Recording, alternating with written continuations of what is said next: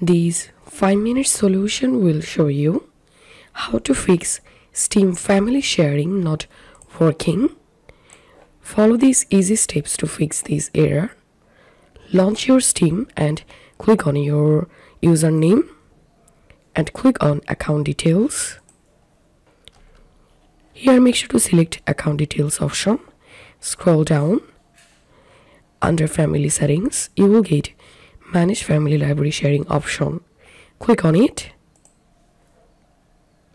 And if you see here no computer has been authorized for family library sharing it then all you have to need just connect a device and a account to share your steam game.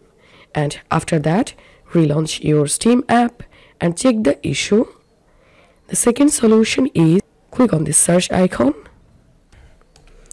and type here cmd right click on command prompt. Click on run as administrator.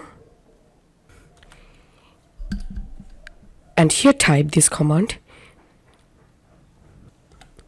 Sfc space a forward slash scan now and hit enter.